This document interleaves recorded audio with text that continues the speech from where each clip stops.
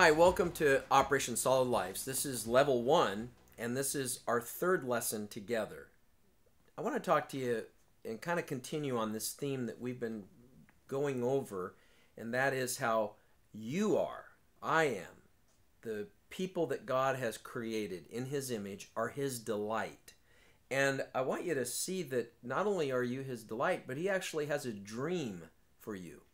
There's something He has thought of and has very creatively come up with that is the purpose for your life. And it's not just to breathe there and to exist. And as we've said, that, that breath that you have is special, but there's even something more special. So let's let's take a look. Go back again to Genesis and let's review just this one statement in Genesis chapter 1. And I want to find verse 26 where God says this, and I hope you have this memorized, where God says, Let us make man in our image. He was looking for someone to have relationship with. He wasn't making man so man would just serve him. Of course, we're to serve God, and we're to obey God, and we're to honor God, and to fear God. But that's not why God created us, just to be like little uh, robots that go about doing things for Him. We're, we're to have relationship with God. And right from the very beginning, this is what he is wanting us to understand. And this dream continues in what we talked about in Proverbs chapter 8. Remember that? Now look over there again. And I hope you have this memorized, but uh, find it, Proverbs 8, and let's find verse 30 and 31. That's where we're told that wisdom says, I was God's delight, but my delight was with the sons of men. So there's something special now that's being revealed to us in the heart of God towards you and I. And this character, this person of wisdom, we found out last time together that this is Jesus, in fact. This is the, the Son of God. So here is this, this reoccurring theme. He wants relationship, and he's working at drawing you and I to him fact, we're told that no one comes to the Father except that the Spirit draws him. So this is something we know that he's been planning and he's been dreaming about this relationship. Okay, well let's go to I want to just have you see something in Second Chronicles. Second Chronicles 16. It's one of my favorite verses in the Bible. In fact, I don't even have it written in my notes. I just have it memorized. Uh, Second Chronicles 16 verse 9 says this. The eyes of the Lord are going to and fro through the whole earth looking for someone whose heart is loyal to him. Why? That he might prove himself mighty on their behalf. So God's looking for somebody, not who's perfect, not who's super special in any particular way, although I, I believe you are special. You're special in a lot of ways to God. But He's looking for a loyal heart wouldn't you like that said about you that your heart's loyal? I believe some of you hearing me right now, your heart is loyal to God, and that's why He's getting a hold of you because He wants to prove Himself mighty on your behalf. Now, Enoch is an interesting character in the Bible. I want you to see him in Genesis 5. We're, we're, we're told in Genesis 5 and verse 21 that Enoch walked with God. He was just walking with God. And, and, and then we're told that all of a sudden he was not. he was walking with God and then he wasn't here anymore. and he didn't die. He was walking with God, and look what it says. It says, and God took him. It actually says that he walked with God twice. Have you ever thought about why God took him? Well, we're not told in the Bible, but I have some assumptions that I'd like to make that I think are safe assumptions based on what we know about God's heart towards you and I. And that is, if he's looking for a heart that's loyal, eyes are going around. He found a loyal heart in Enoch. And he said, You know what? I'm going I'm going to bring you to be with me. I can't wait till you die. I want to have you right now. Now, this is an amazing thing because at that same time, we're, we're, we find in the Bible, and this is in Genesis 6, the next chapter over, Genesis 6, look at verse 5. We're, we're, we're told that men just became more and more evil. More evil. They, in fact, it says that they only committed evil continually. Look at verse 6 of Genesis 6. It says, Man was uh, no longer God's delight because look what it says. It says he was grieved that he made man. And so God here has let sin go. He's let it go. Verse 7 tells us that he, he finally got down to one man that still was serving him. Who, who, do you know who that is? That's Noah. Look at verse 8, and it says, Noah found grace in the eyes of the Lord. How long suffering is our God? Not only how his loving kindness is forever, so is his, his putting up with us. He, he can put up with us, and here he's putting up with man, merciful, compassionate, relenting. And finally, he, he said that I, I, I'm going to destroy man. But he found one man that had grace with him, and we're told in verse 9 the genealogy of Noah. Look at there, look there. It says that Noah was a, a just man, perfect in his generations. Now notice these words: Noah walked with God, just like Enoch. Hey, that's not complicated stuff. I I don't know if you uh, can remember when you started walking, but you did it a long time ago when you were a little baby. And uh, my little granddaughter's not only walking now, she's running and going in circles and jumping around, and it's amazing. It's not complicated, it's simple. Just to walk with God. That's who He's looking for. Now, I want you to see another friend that, that God finds here in Genesis 12. Would you go over to Genesis 12? Because you know what happened. Noah walked with God, but the Lord had to take Noah and his family up in that ark, and he destroyed all the other people. Imagine those people so hard hearted that they they made fun of Noah. They didn't repent. They didn't turn from their sin. They were destroyed. Well, in Genesis 12, we're told that God found a man by the name of Abram. And he told Abram that he wanted him to leave his family and he would take him to a land. But this is an amazing thing. In fact, if you could put your finger there in Genesis 12, we'll come back there. Go over to Isaiah because I want you to see something here in Isaiah 41. Isaiah 41 and verse 6 says that Abraham was a friend of God. Hear this. God wasn't looking for somebody to serve him. Abraham sure served him. He wasn't looking to some man to give a covenant to. He did give a covenant to Abraham. He was looking for someone to be his friend. Are you hearing that? That's an important thing to get in your mind and in your heart to realize God's not looking for somebody just to serve, just to do, just to obey. He's looking for somebody to be his friend. I, I want to be a friend of God. Amen. Now, look over here. We're, told that he said to Abraham, he says, Abraham, if you'll walk before me, back in Genesis 12, if you'll walk before me and be faithful to me, I'll bless you and the whole earth, actually. And he did. Abraham walked with God. He went into covenant with God. And then look at chapter 17. Go to Genesis 17. We're told there that Abraham then was promised, and, and God made good on that promise, that he would be the father of many nations. Now, when it says many nations, that means many nations. And these aren't just physical descendants, but people of faith, like you and I. We're part of that. In fact, Galatians says that you and I, it, we are heirs according to the promise that was made to Abraham. Why? Because Christ has grafted us into the vine. Oh man, it's so good. So we call him Father Abraham. Had many sons. Many sons had Father Abraham. He had a son named Isaac. He had a son then named Jacob, whose name was changed to Israel. Imagine this God loved those those men so much and loved Jacob so much that he said, "I want you to I want you to be named after my people, my people Israel."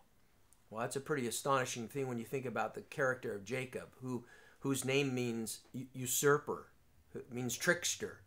And remember, he was the one that tricked his brother Esau out of his birthright for a bowl of lentil beans. And I, I don't know, I like lentil beans, but to give up your birthright for that, that's pretty tricky. And uh, he did. He tricked his brother.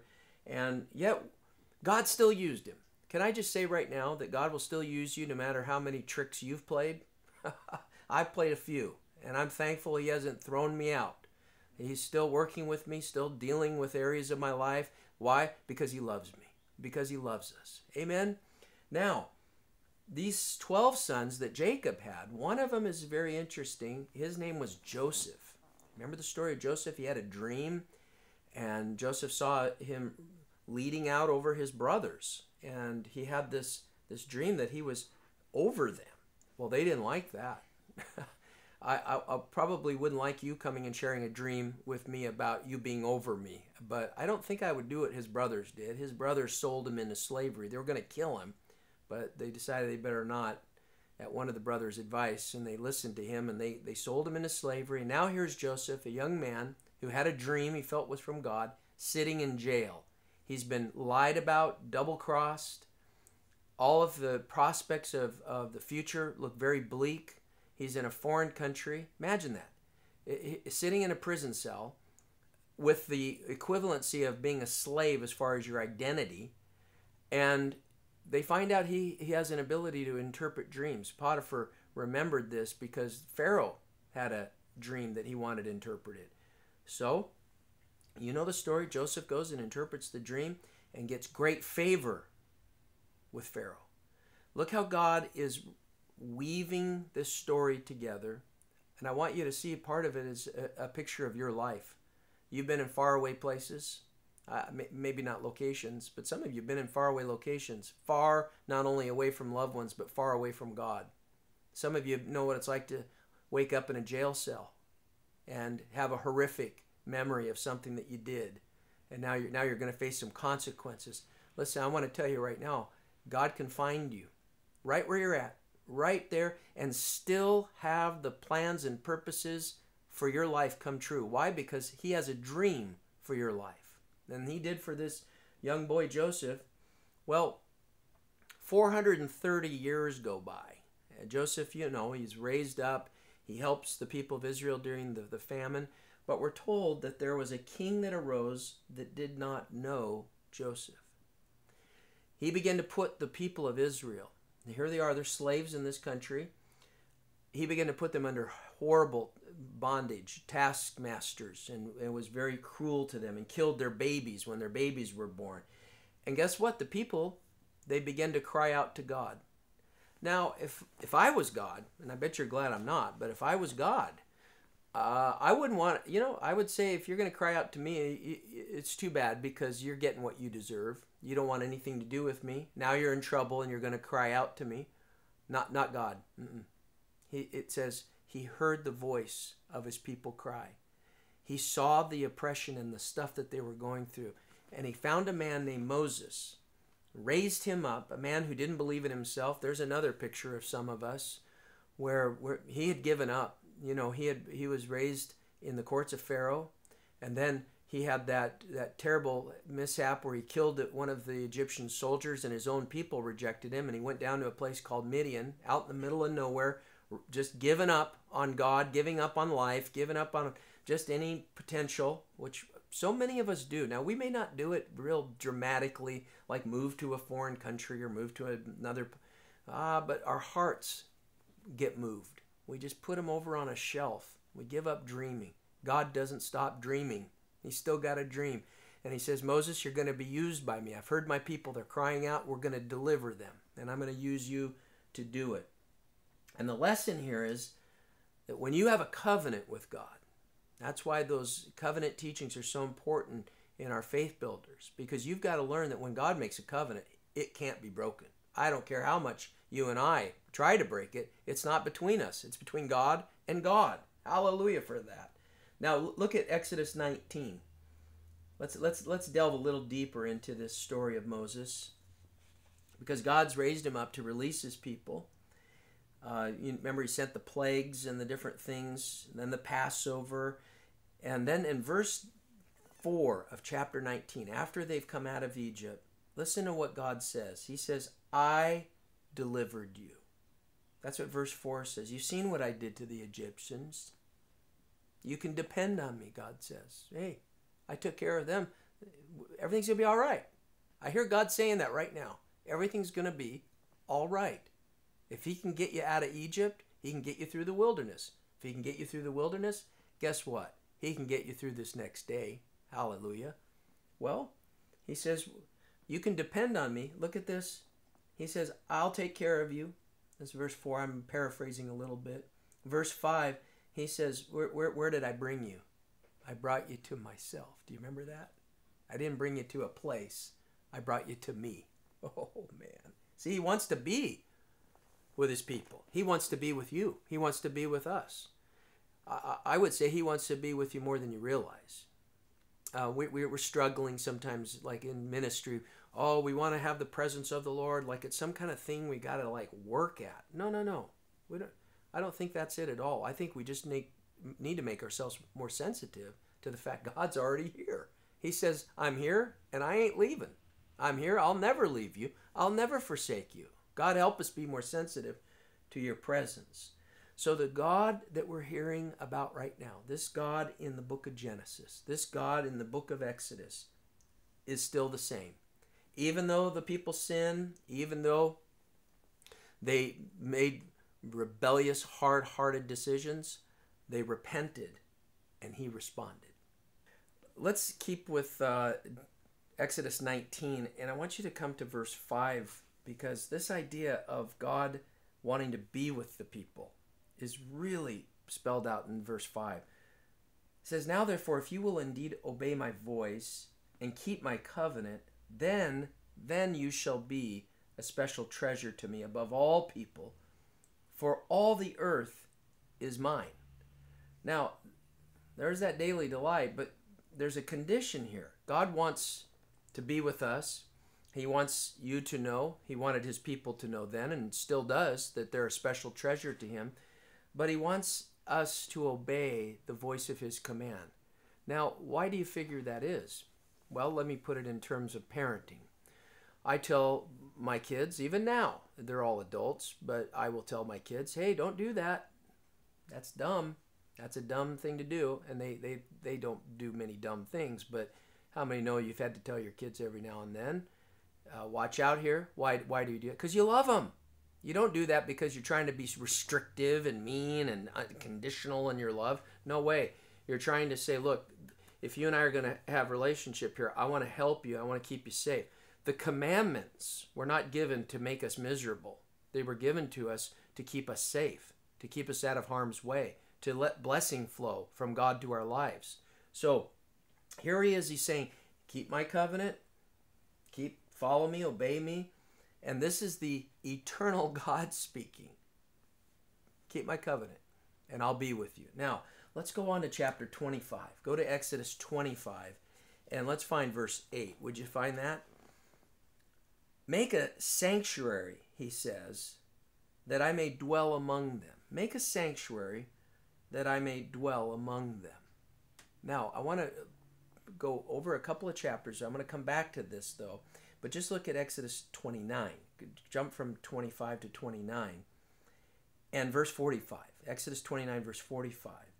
Listen, he says, I will dwell among the children of Israel, and I will be their God, and they shall know that I am the Lord their God, who brought them up out of the land of Egypt, that I may dwell among them. I am the Lord their God. Now, dwell dwell with them. The God who created the universe that all of these smart scientists can't even measure. They don't even know how many solar systems there are in the universe. There's billions and billions of stars. The God who created all that, he wants to dwell with a little group of people in a in, in a wilderness area uh, of Israel in, in the desert. Uh, it, it's just phenomenal when you start thinking about it in those terms. And he says, uh, "Build me, build me a tent." Now get a hold of this. They're living in tents. He says, I, I want to live where you're living. So he, they built him a tent and he lived there. He came and his Shekinah, as the, is called in the Hebrew, glory filled that tent and later the tabernacle. So much so that when Moses would go in and visit, it said that he went into that little tent in Shiloh till they built the tabernacle and he visited God and talked to him just like I'm talking to you right now. Only uh, you can't talk back to me, which is wonderful. But no, I'm kidding. It, it, was a back and forth conversation they had. But listen, when he went out, his face was so bright from the glory of God, they had to cover his face. God saying, I want, I want to be with you. I want to be with you. So they built him a tabernacle. And, and he said, put it in the center. I want I don't want to be over on the east side, the west. I want to be right in the middle. He's still saying that by the way. I want to be right in the middle of your life. And this pillar of cloud by day. Uh, I've heard people talk about all these spiritual things. You know what the big deal uh, I want to get across to you? It was for their comfort. Remember, you're his delight, and he wants to have you have things that are enjoyable. And in the desert, it gets hot in the day, and that cloud kept him cool. And then at night, it gets cold in the desert. I've been out there in the winter sometimes, and I'm telling you, it'll get cold. Well, that pillar of fire, that cloud would turn some supernatural way into a, a pillar of fire, and it kept the people warm. Again, listen to how practical his plan is. Listen to how practical his love is. He's taking care of his people right out there in the desert. And I believe he's wanting you to hear him say he'll take care of you too. He, he gave him the dimensions of the temple, and he said, uh, Here, here's, here's how I want it done. So God does have certain expectations, but what I want you to see though is when you love somebody, of course you have expectations. But one of the biggest one that I, I, I still remember is you want to live with the person you love. And uh, you got to get married first, though. If you're uh, you're shacked up, God can't bless that relationship. You, you got to get married, and He'll bless it. And by the way, you're never ready to get married, so I don't know what you're waiting for. You just should do it. Numbers 13. Go over there. Numbers 13. And uh, find verse 1. Numbers 13. And uh, listen, listen to this unfortunate, uh, you, this familiar stuff here for you, but let's just review it uh, we're told that they went they sent spies into the land and i won't read the whole passage but we're told that the land was excellent look at the grapes we're told the grapes were so large it took two men to carry on a stave one of the uh, clusters of grapes in fact that's still on the uh, ministry of tourism for israel's uh, letterhead their logo has those spies carrying that, that stave of grapes and the, the report should have been man, God has hooked us up. We are, this is awesome. Instead, they came back and 10 of them had a bad report, didn't they? In fact, translations, uh, the, the, New King James has it, they have an evil report. They had an evil report. And they said, We're like grasshoppers, not only uh, grasshoppers in the giant's eyes, but in our own eyes. Well, there's that confidence thing that we were talking about before. But two, two spies, do you remember their names? Yeah, that's right. Those those dear men, Caleb and Joshua, they said, "No way. We're well able. We can go in right now if God's for us." Well, God rejected Israel because Israel rejected them. That generation, we're told there. Look at look at chapter 14. Just browse through there on your own a little bit. Look at those first few verses, and you find out how God feels, and you start to, you know, you realize here, they their children were being killed. They're being tortured in uh, horrible bondage in Egypt. He pulls them out of there, builds a tabernacle right in their midst, dwells with them, feeds them, clothes them. You know how amazing it is that the Bible says that the clothing never wore. They had sandals that never wore out for 40 years. They had none of them ever got sick. They never got hungry. God took care of them, provided for them supernaturally, built a place for them, and then they start complaining. They start complaining about the food, and uh, I'm telling you, you can you can see how God's heart gets grieved here.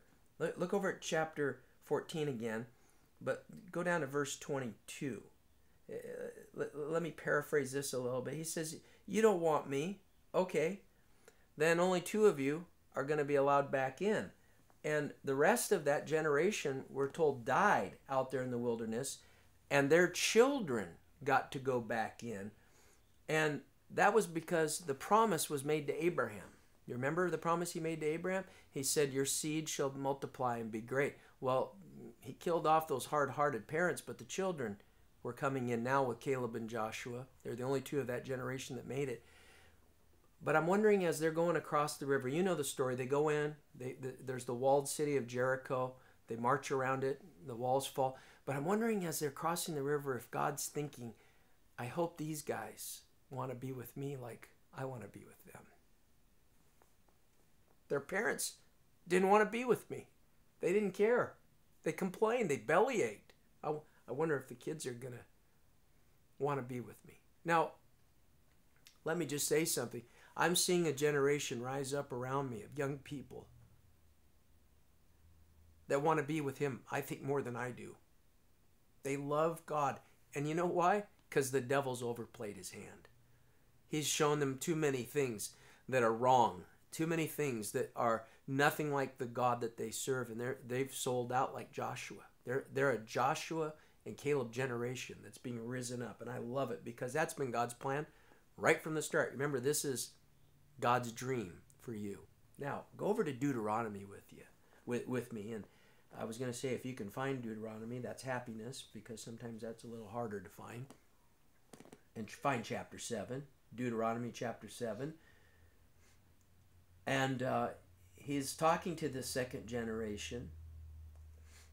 And uh, verses 1 through 8, let me, let me just, I won't read it all, but I want, here's what he says.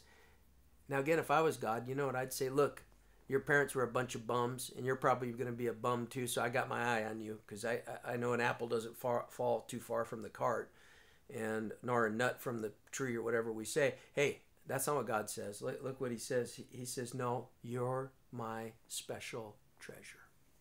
That's because His dream doesn't change; it stays the same. And look, He says it again. Look over at chapter 14 of Deuteronomy. Can you get there? 14 verse 2. Look, look, look, he just says it again. You're going to be my special treasure. I mean, it's relentless. It's like this old broken record, you know, the old love song that just keeps playing over and over and over and over again. God's saying, look, you, you, you, you've had a, a heart that has been against me, but I'm going to forgive you. Repent, turn towards me, and I'll, receive you because you're special to me. And, then it says there that this has been my plan all along, that we would be together. Well, Hallelujah for that because I'm going to tell you right now, that's still God's plan. Listen to Psalm 78. And uh, can you find verse 1? Psalm 78. And find just that first verse there. They're delivered from, from God. And this is an amazing. I'm going to actually, I want to read just for a moment from look, look at uh, verse 5 psalms 78 this is such a uh, unbelievable chapter.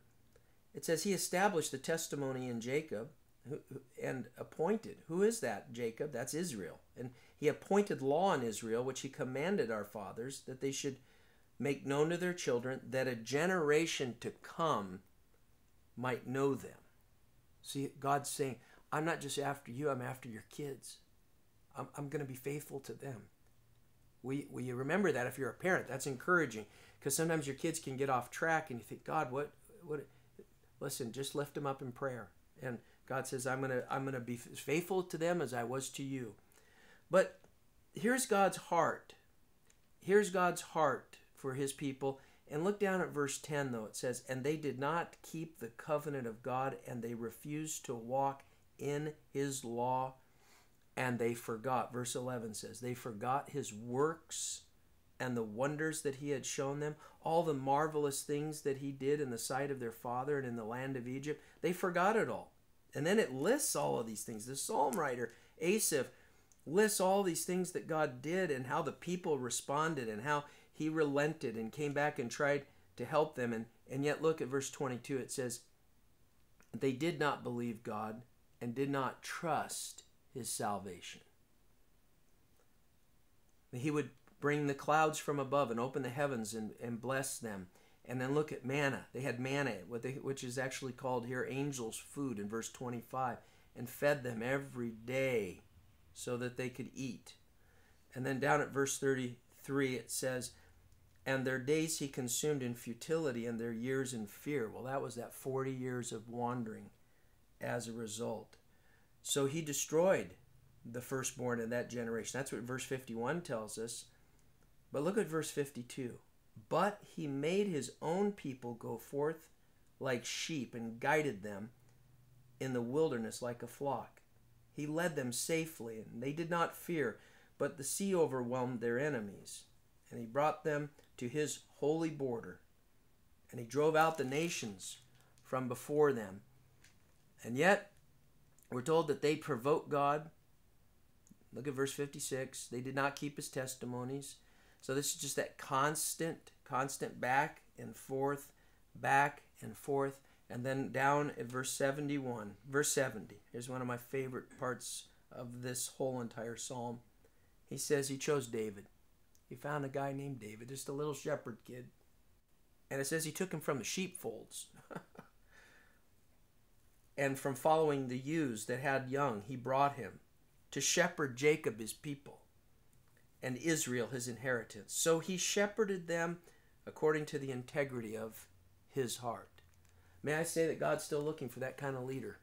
And I hope one of you, I hope a lot of you, in fact, I hope many of you, become leaders like. Now, look at Zechariah. That's over towards the end of the Old Testament. And I, I told you right from the start, I wanted to show you from the very beginning, first pages of Genesis to the last part of the Old Testament.